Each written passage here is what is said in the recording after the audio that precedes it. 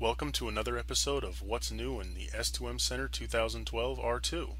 In this video, we're going to be going over the new nesting features in the S2M Center. The first feature is found in the machine catalog. The machine catalog, you ask, but there was a whole video dedicated to the machine catalog. Why didn't we cover it there? Well, this is a nesting feature, so we thought we'd throw it in the nesting video. The new feature is found in the Setup tab, so let's move there real quick.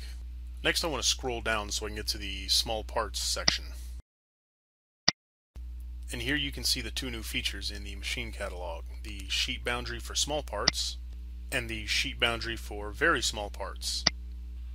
Now what these options allow you to do is define a distance from the edge of your sheet that small parts or very small parts are not allowed to be placed by the S2M Center. The next couple of features can be found in the system preferences for the S2M Center, so let's go ahead and go there. The first new feature can be found on the Geometry tab. You can now see one of the new features, the Ignore Operations Outside of Parts Nest Boundary.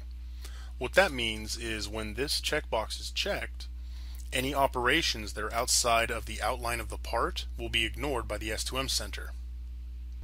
The next feature we want to look at is in the Ordering tab. And here you see the final new feature for nesting, the Minimize Sixth Face Patterns.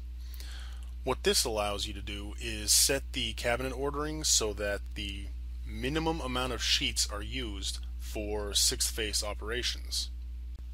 This concludes the video about the new features of the S2M Center 2012 R2. Thank you for taking the time to watch this video. If you have any additional questions, please visit the S2M Center website at www.screentomachine.com.